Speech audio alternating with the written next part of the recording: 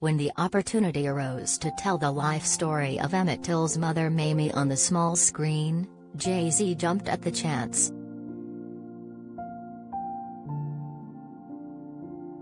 The rapper, who executive produced the ABC miniseries Women of the Movement, explained his involvement in the project at the Disney FYC Fest in Los Angeles on Thursday, and said he felt it was an important story to tell the world. We all pretty much know the story. We all have been affected by the real-life tragedy, he said via Zoom at the El Capitan Theater. But the opportunity to see how not only a life is lost, but how it would affect everyone going forward was super important and too powerful. He noted that it was especially moving to hear the story of the 14-year-old Till's racially motivated 1955 murder from the perspective of his move to activism mother, calling it too powerful to ignore. Jay-Z, 52, said that upon seeing the series, which premiered in January, for the first time, he was blown away. You grow up knowing part of the story, and then you see it come back to life again, he said. Everyone was just so amazing. Adrienne, Warren, who plays Mamie, obviously was just, you could feel the emotion anytime you were on screen.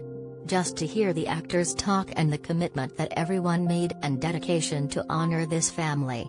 You could just feel the love in this room.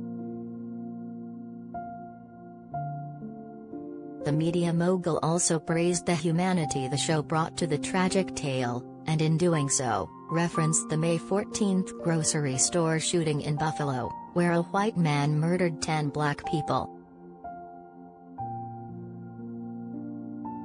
The reason why someone can go to Buffalo and write 10 on the gun is a way for you to separate yourself from the people you harm, he said.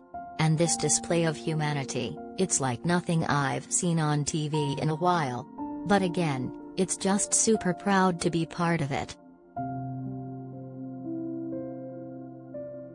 Warren opened up to people at the event, and spoke of not only the additional weight the show creators felt in filming in Greenwood, Mississippi, where the events took place, but in the relevance of the show's message, nearly 70 years on. It's still happening. This is a historical piece, but it's not, she said. And because of that, I think every single person that was a part of this, we all worked as a team because it meant so much to us.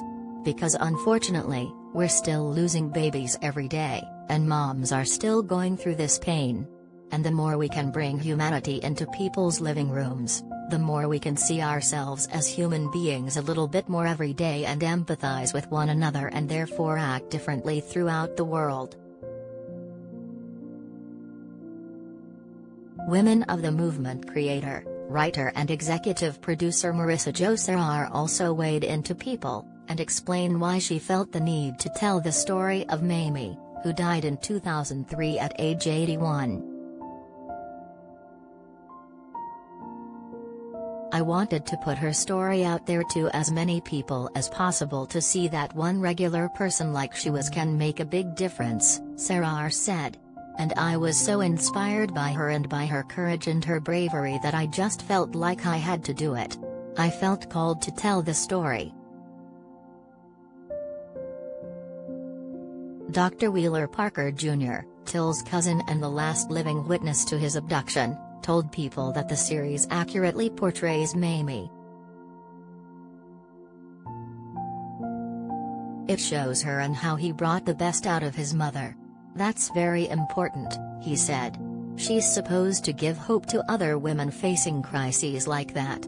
How she took that negative and turned to positive, took a lemon and made lemonade. It speaks volumes. By Rachel DeSantis at Santis underscore the Rachel. By Alex Kramer.